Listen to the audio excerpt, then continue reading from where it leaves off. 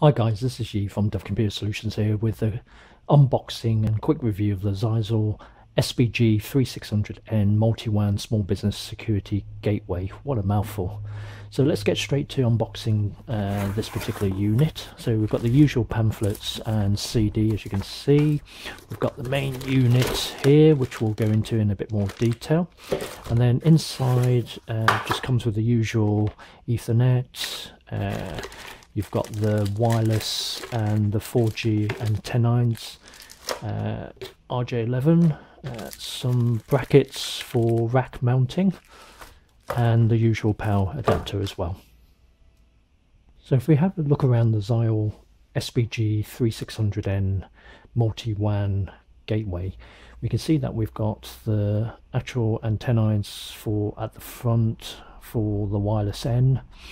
Um, so if we just go through from left to right, we've got the reset button, the LTE signal bars, uh, the actual LEDs, the four Ethernet gigabit LANs, uh, we've got a WAN gigabit connector there, uh, SFP for fiber optic Ethernet connection, USB file sharing or optional 3G dongle connection, and on the 3600 we have two DSL uh, RJ11 ports at the front as well.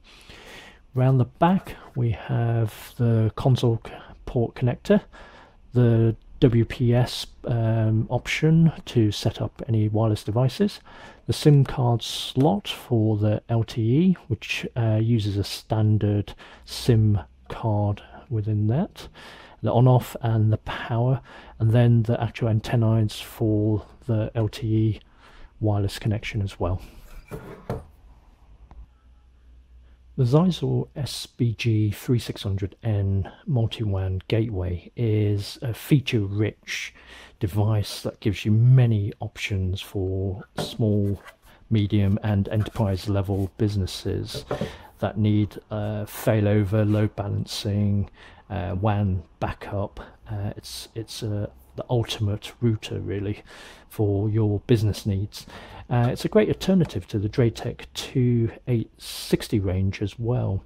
So we've got the multi-WAN uh, connections which allow you then to have backup load balancing as I said earlier um, and you know many options within that including SPI firewall uh, various VPN um, options as well and I think overall it's a great uh, multi-WAN gateway for your business needs.